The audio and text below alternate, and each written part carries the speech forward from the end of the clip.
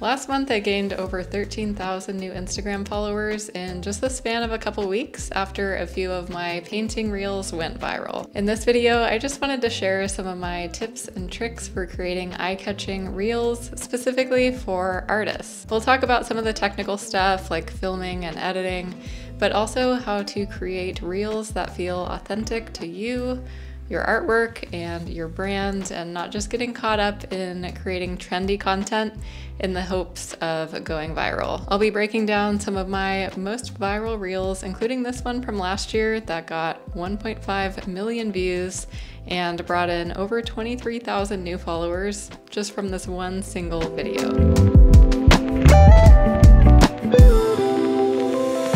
Me start by saying I fully understand the social media algorithms are tricky and unpredictable and frustrating. And while there's not one secret to going viral, there are a few things that I've implemented into my painting process reels that have definitely increased overall views, even if not all of them are going viral. And just one more thing before we get into it I know you already know this, but just a reminder to you and also to myself.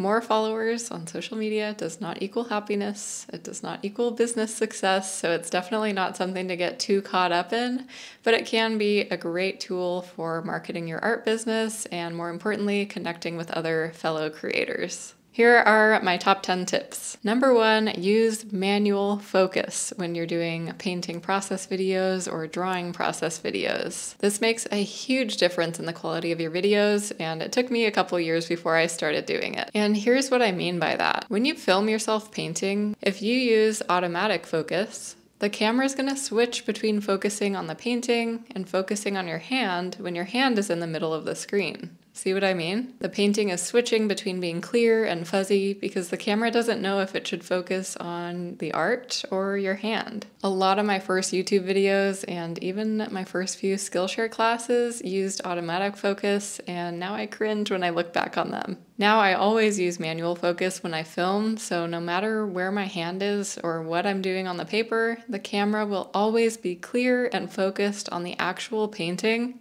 which is what the viewer wants to see. It's a much better experience for your audience and it helps your video look a lot more professional. Number two, whatever you use to film with, whether it's a tripod or just some sort of clamp for your phone, make sure it's mounted to something other than your desk or your painting surface. So many painting videos end up being shaky because every time you move your arm or you rinse off your paintbrush, the camera is shaking or swaying with the movement.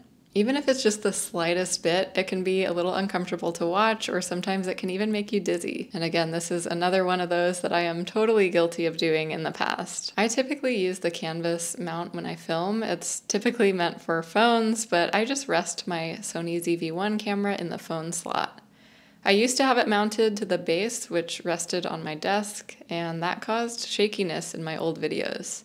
Even though my desk is pretty solid, the constant moving of my arm caused movement in the camera. Now I have it clamped to my windowsill above my desk, so even if my desk is moving like crazy, the camera isn't moving at all, so my footage is still nice and still. And this will obviously depend on your specific painting setup, but try your best to find something else to put your phone or your camera on, whether it's a desk nearby or a dresser, or just putting your tripod on the floor instead of your desk um, to help keep your camera nice and steady, which will then make your footage nice and steady. Number three, sometimes the simpler, the better. In my personal experience, the reels that I post of painting one simple flower or a simple leaf stem, they always outperform any of the reels that have a more intricate composition or something that's filled with florals. The simple ones always, always outperform the intricate ones. For example, this reel that I mentioned at the beginning of the video, which got 1.5 million views, and this one reel alone brought in 23,241 new followers,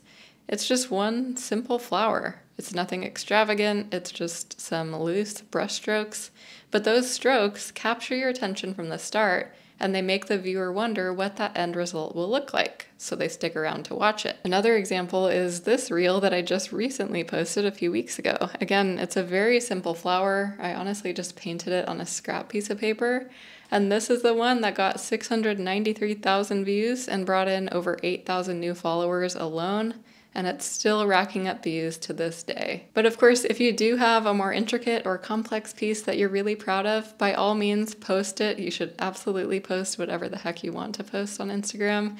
But I'm just meaning to say you shouldn't count out those sweet and simple paintings or the little doodles or warm up paintings because those can really perform well too. So I usually end up doing a little bit of both. Number four, use real time footage instead of, or in addition to, sped up or time lapse videos. I think there was a time and place for those time lapse videos, especially in 2020 and 2021. They were super popular, and I had a lot of my time lapse videos go viral back then, but I'm seeing a lot less of that now. What I do now to make my reels feel more cinematic is to use real time footage, but just slice and dice the painting process to just show the most beautiful brush strokes, like adding little details to a rose or showing a sweeping stroke of a leaf. And try to include different angles instead of just the top view.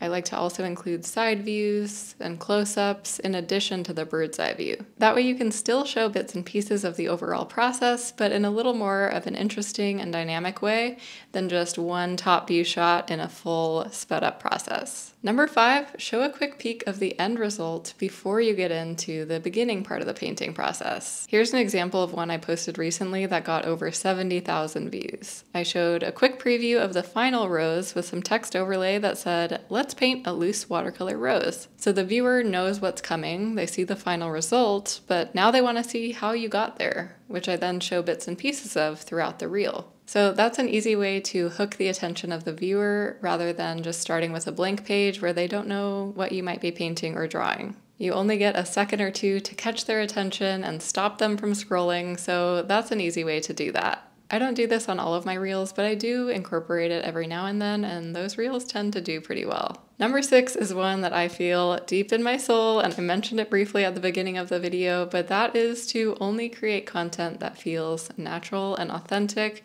to yourself and your art and your business. One thing that I've always known deep down as I've grown my Instagram account over the past four ish years is that I never wanted to fall into creating trendy content just for the hope of going viral. So I didn't want to create reels of me dancing on the screen or pointing to words or lip syncing a trending audio. And absolutely no shade to anyone who does that, but I personally cannot pull that off. If I were to do something like that, I always feel very cringy and very awkward. So I've just tried to find ways that I can still create unique content that is fun to watch and binge worthy, but just in my own way and related to stuff I'm actually doing in my art practice. So that's most commonly, just painting process videos that I then turn into reels.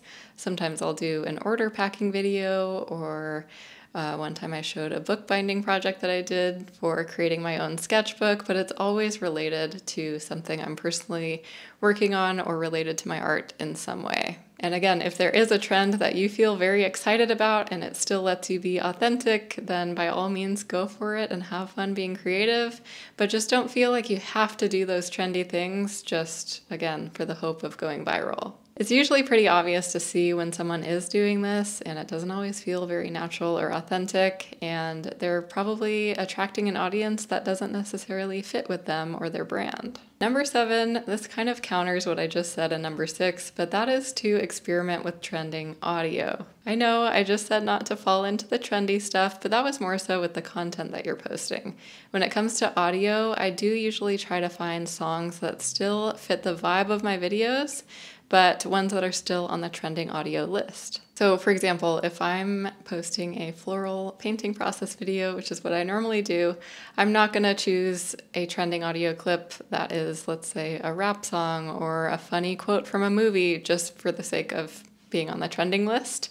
Obviously, that wouldn't really fit the vibe of my video. It wouldn't complement my artwork, but I can still usually find serene, beautiful songs that fit my video that are still on the trending list. So that's one way that you can still increase the chance of your reel going viral by using trending audio, but using trending audio that still complements your video, and that will help it to feel more natural and authentic to you as well. And you can always tell if the song is on a trending list by looking for that upwards arrow next to the name of the audio. Okay, number eight is a little bit different, and that is to utilize Pinterest to drive traffic back to your reels. I could go on for hours about how beneficial Pinterest has been for growing my art business. It reached almost 3 million monthly views at one point last year, but I'll keep it short for the sake of this video. My top performing pins on Pinterest have always been my Instagram Reels that I just basically repost to Pinterest. So I literally just upload my reel to Instagram like I normally would, and then I also upload it to Pinterest. And then I add in my keywords into the title and description. You can also just copy and paste your caption. And then I put the link to my reel into the URL box. So it's a simple step of reposting content that you've already made onto another platform to get more eyes onto your Instagram account or your reel. Don't sleep on Pinterest when it comes to marketing your art business. It's the perfect place for doing just that, and it can really be a game changer. It has been for my business. And if you're new to posting on Pinterest, maybe you've just been using it to find recipes or find art inspiration, a good way to start is by doing what I just said, just reposting your reels or your TikToks or your YouTube shorts onto Pinterest and you're good to go. So that's a quick and easy way to get started with it. Number nine is a quick one, and you might already be doing this, but make sure when you upload your Reels within the Instagram app, you turn on the setting that allows it to upload at the highest quality. Of course, you want your video that you just spent time and energy on to look good once it's actually posted. And if this setting is turned off, Instagram will likely decrease the video quality to upload it as quickly as possible. But if you can spare a couple extra seconds to make sure it uploads at the full quality, you should definitely have this setting turned on. All right, and number 10 is to tag the brands or the companies that you use in your painting or drawing process. As an example, I am a Princeton ambassador, so I'm always tagging Princeton in all of my reels, but you can also tag the paper or the paint brands that you use. No guarantee that anything will come from this, but most of the time, those brands usually have tens or hundreds of thousands of followers, and sometimes they will like or comment or repost your reels, which will help get thousands of eyes on it. Most brands really appreciate user generated content like this and they want to be able to show off real life artists using their products. So it's a good habit to just start tagging those brands and you'll likely see a lot more traction start building up from that. So there you have it. Those are my top 10 tips for creating Instagram Reels specifically for artists or painters. Again, these are just based on my own experience of creating Reels and building my audience over the past few years. Obviously, things change all the time algorithms change, but just do your best to experiment get creative, and most importantly, have fun with the process. Yes, it would be amazing if your reels could go viral every time, but if you put that expectation and that pressure on yourself every time you create a reel, it's going to end up being a lot more stressful than it is enjoyable. So let me know down below in the comments if you have any other tips or tricks or techniques for creating your reels. I would love to hear them, and I will have all of my tools and tech um, linked in the description if you're curious about any of the equipment that I use. So thanks so much for watching. Don't forget to like and subscribe, and you can also follow me on Instagram at Petals by Priya, and I will see you in the next video.